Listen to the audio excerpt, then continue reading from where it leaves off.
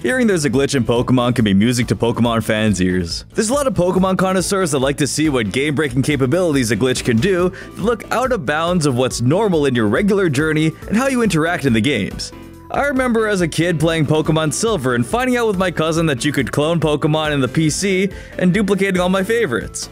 Really, that was just kind of inconsiderate and basically self-splicing without a license, so my Game Boy was taken away from me, but those memories without my medical license at the age of 9 led me to look for those fond, memorable Pokemon glitches throughout all the Pokemon games that may have been nostalgic for you when you finally pulled off a trick you found somewhere in a YouTube video with a webcam pointed at the screen. These are the top 10 glitches throughout all of the Pokemon games that you might have done or remember that created some mind-blowing and different adventures in Pokemon. We'll not only be talking about them, but also showing you how to do them so you can in fact try these at home without supervision or outside because all these systems are portable. Let's go.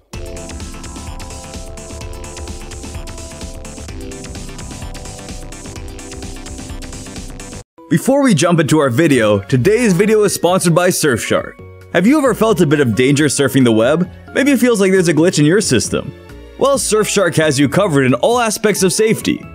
Surfshark VPN secures your data with industry-leading measures using uncrackable encryption. You can even unlock 15 of the largest Netflix country libraries and even more content on most platforms. Just like the content we're unlocking in today's video.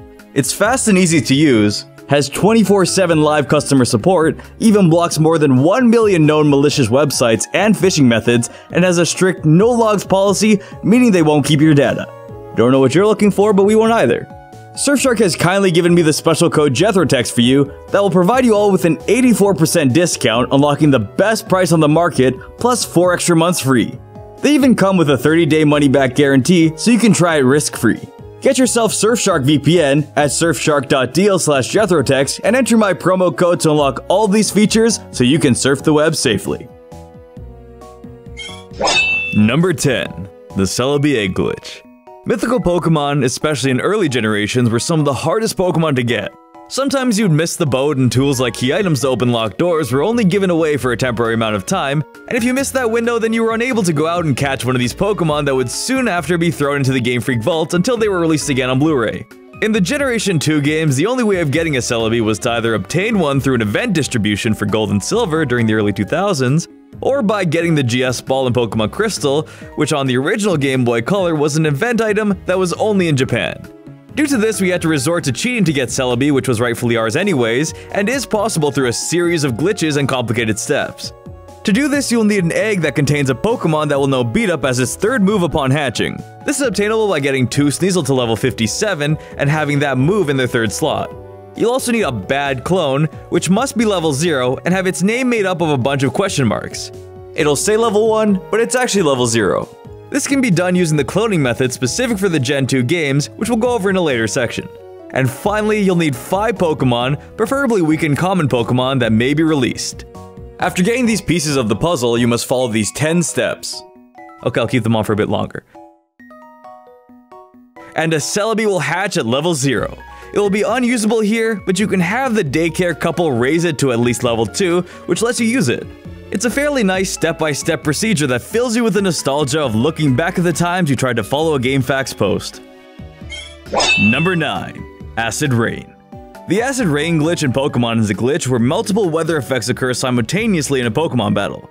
This glitch is specific to Pokemon Platinum, Heart Gold, and Soul Silver, and even though it was discovered before the English release of the games, it was never fixed before their launch. To activate this glitch, there needs to be a weather effect in play, which also includes Trick Room, Uproar, and Gravity, as well as the other regular weather effects aside from rain. If these are in play, and you then use Pursuit on a Pokemon that is switching out, causing it to then faint, it will activate this glitch. What this does is when the next Pokemon enters the fight, the weather will change and cause all four types of weather to occur at the same time, damaging all Pokemon in the process. It will continue until the end of the battle, but what's funny is if a Pokemon like Castform or Cherrim is in play on either team, it will constantly change forms, never stopping, making it unable to finish the battle until the game is turned off. Number 8. The Glitch Dimension the glitch dimension is a term given by Pokemon fans that refers to a glitch in the Pokemon Gold and Silver versions that will alter the colors of the game and showing some sprites through a pink filter. It also lets you see the Ho-Oh in the title screen of Pokemon Gold in its full colors instead of just a silhouette. I'm not sure how many of you guys relate to this, but seeing that stylistic glitch look of vaporwave colors reeled throughout an old 16-bit pixel game was a really fun thing to see that felt like its own style from the early days of video games. There are many ways to access this dimension of glitches, but the most popular one was the coin case method.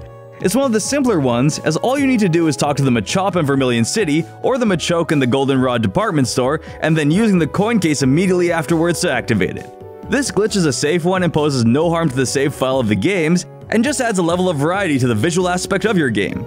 It's one of the easiest glitches to perform on this list, so go ahead and try it out and tell your friends how you like to pick apart games and put them back together, and is why you got into coding. Number 7. Leveling past 100 Pokemon are capped to be maxed out at level 100. You aren't supposed to be able to go past level 100, but in Generation 1 and Generation 2, there's a way that you are able to get your Pokemon up to level 255. Wow, I can't wait to get an Eevee to the full cap of 255. All you need to do is get a Pokemon that is over level 100 by using your other glitches like the classic Old Man Cinnabar Island trick and giving it rare candies to get it to level 255. Although most of you game breakers watching will already know, for those who don't, the way you perform the Old Man glitch is that you must talk to the Old Man located in the north section of Viridian City, let him show you how to catch a Pokemon, then immediately fly to Cinnabar Island. Here you can surf up and down along the east coast of the island, where the water is against this licorice stick of land, without leaving Cinnabar Island. While Pokemon will appear based on the player's name, and some will be above level 100. An added part to this glitch is that if you feed a Pokemon at level 255 one more rare candy, it will let you get a Pokemon that's level 0, as it will overflow its data and reset all of its stats to 5. Number 6. Glitch City. What's better than being trapped in a dimension? Being trapped in a city. Glitch City is a term used by players to refer to maps with invalid tile data. To access these, you must perform a series of steps in the Safari Zone. First, you must enter the Safari Zone and then immediately leave. When asked if you want to exit the Safari Zone, answer no and save your game before starting it. You will now be able to walk outside of the Safari Zone with the steps counter, but you must make sure you answer no when leaving the desk. You have to walk around until the steps wear off and will then be teleported back to the Safari Zone. Leave that zone and you'll access Glitch City. Depending on where you were before being sent back to the Safari Zone entrance, the city will look different and let you do different things. You aren't able to access this if you were in Celadon City, Cerulean City, Lavender Town, Saffron City, Fuchsia City, Viridian City, Pewter City, Cinnabar Island, Vermilion City, there's a lot of them, or inside any building. But everywhere else, like these three tiles, are fine. You can escape Glitch City by using Fly or Teleport, but feel free to admire the scenery and tile blocks. Number 5. Tweaking. Going out of bounds in any video game is a consistent glitch among a lot of games. It lets you access areas you are not supposed to, skip entire sections, and load messed up versions of the game. The Gen 4 games are infamously known for their out-of-bounds glitch known as tweaking, which lets you access a bunch of event-exclusive Pokemon in Diamond, Pearl, and Platinum. It also allows you to load glitched versions of Sinnoh, Kanto, and Johto, while using the bike in its fourth gear, you can make the game not load sections fast enough, and it lets you access shortcuts and travel across a dark void to get towards Shaymin, Darkrai, Cresselia, and Arceus. There are multiple guides you can see here, and you can look even more up that will guide you into the abyss and will even provide you with a map that will make your glitch travels feel more productive. Although this glitch is not present in the games that follow Generation 4, the Pokemon obtained from this exploit are everywhere, and you won't be able to know exactly how they were encountered. Number 4. Cloning. Had to save this a little later on in the video as this was a personal favorite of mine just from nostalgia and the old days of Pokemon. Starting this off with the original Generation 1 and Generation 2 games, the iconic way of cloning in Pokemon was done by interrupting the trade right at the moment by turning off the Game Boy or unplugging the link cable. It is, however, very hazardous to the save file and could possibly corrupt the data, but who knows consequences when you're 8. Generation 2 had the box change method that lets you clone up to 5 Pokemon while transferring them from your party to the storage system and turning off the game system at the right time while it's trying to save. It's how I learned how to time my jokes. While these were likely some of the most nostalgic and known cloning methods, there were actually more methods of cloning after this, as the years of Pokemon did not stop counterfeiting. In Pokemon Emerald, you can clone Pokemon by accessing the Battle Tower and interrupting the save at the right moment, allowing you to create copies of 6 Pokemon at the same time along with the items. In Generation 4, you can trade a Pokemon, and if one of the DS systems is turned off at a certain time, the Pokemon that was traded to the game that was not turned off will appear in both players' parties. Again, it does commonly corrupt save files and is apparently effective in the Generation 5 games, but unconfirmed in those. Finally, in Generation 6, you can clone a Pokemon while trading among two nearby Nintendo 3DSs that are connected and then breaking off the connection. Depending on the timing the first Pokemon may clone, the trade may complete, but also the Pokemon might be erased. The chance of harming your save data is supposedly non-existent, and the chance of erasing your Pokemon is small, but so is encountering a shiny Pokemon, people still find those. Cloning is one of the more nostalgic glitches, and possibly one of the most used, giving us a little something to look back on. Number 3. The Mew Glitch of all the Pokemon that were withheld from you by Game Freak so they could be laundered in events, Mew was the first one we realized we couldn't obtain as it would only be given in special ways. That led us to having to break the game and find ways to obtain this elusive Pokemon, as many people had no idea how to catch this Pokemon when the games first came out. The Mew glitch, also known as the Long Range Trainer glitch, is a glitch found in all of the original Generation 1 games. There are multiple ways to do this, but the quick Mew glitch is by walking in the range of the Junior Trainer on Route 24, west of the Nugget Bridge, to try to start a battle, but instead hitting start and using teleport from an Abra. You can catch one on Route 24 before this point to do this trick. Your A and B buttons won't work after doing this because the game will believe you're about to be in a battle. You then have to go into the Cerulean Gym and battle the swimmer, which will also restore the function to your buttons. After this, return to Route 24 and you'll encounter a Mew. There are a few variations to this, as well as a needed change method for Pokemon Yellow, and some certain things to look out for here, so there will be a link in the description for you to look at to make sure you can do it properly. But overall, if done correctly, you'll be able to encounter this Pokemon that was hidden away from the original, original games. Number 2. MissingNo MissingNo might as well be an official Pokemon, and is one of the most iconic glitches. The look of it has been depicted in many fan art posts and updated to fit the new generations.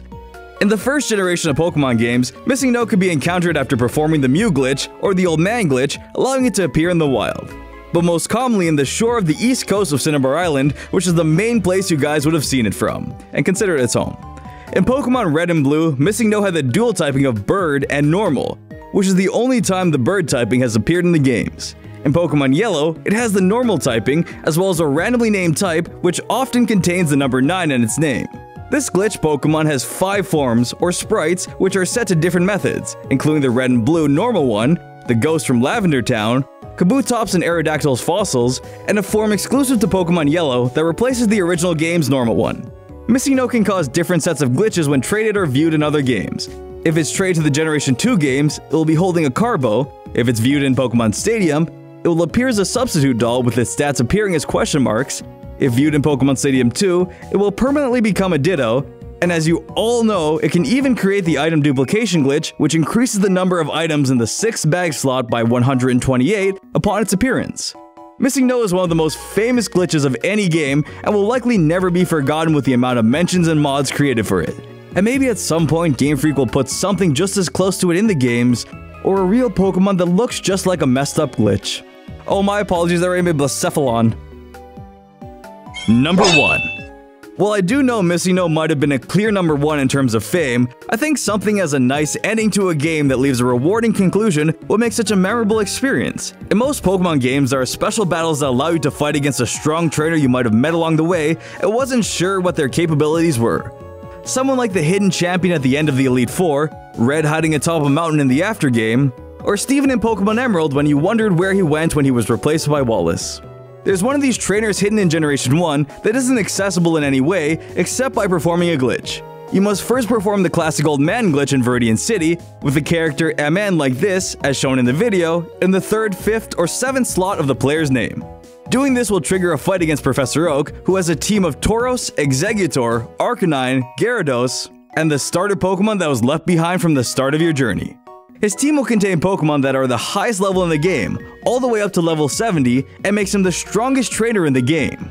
It would have been great to see this battle officially added into the games, but the thought of having to battle the Professor, who was there from the start as a secret encounter, would have really added a great ending to your adventure. Personally, this also confirms you should start with Charmander, as you can end with Charizard, Blue can end with Blastoise, and Professor Oak can start with a nice little grass Bulbasaur to tend to like an old man in his bonsai tree, growing it up, starting his own garden, and at the end, having a Venusaur. Exeggutor doesn't count as far as eggs.